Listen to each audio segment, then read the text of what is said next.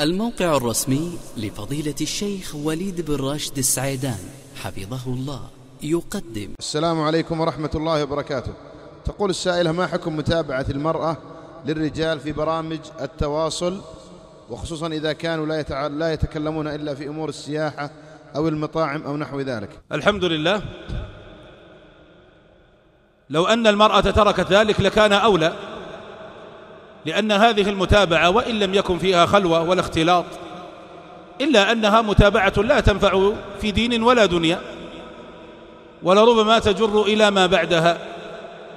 فالذي أرى والله أعلم أن المرأة إذا تكلفت افتتاح حساب في التويتر وأرادت أن تتابع أحدا فلا تتابع إلا من ينفعها في دينها ودنياها أن ينفعها في دينها بالنصح والوعظ والتذكير.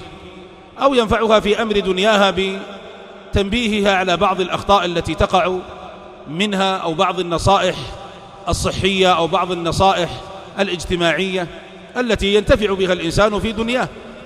وأما أن تتكلف المرأة متابعة أحد إنما يخبرها بأنواع المطاعم وأنواع الطرقات وأنواع الأشجار وغيرها من الأمور فإن هذا من تضييع الوقت الذي لا ينبغي. فلو أن فلو لا أقول حراما وإنما أقول فلو أن المرأة تركت متابعة الرجال في هذا الأمر الذي لا ينفعها لا في دين ولا دنيا لكان هو الأولى لكان هو الأولى. وإذا أرادت أن تتابع فلتتابع من ينفعها في النصائح والوعظ والتوجيه والتذكير والتنبيه وأمرها بالمعروف والتعاون على البر والتقوى. فهذا أولى بما أنها ستتكلف متابعة أحد. والله أعلم.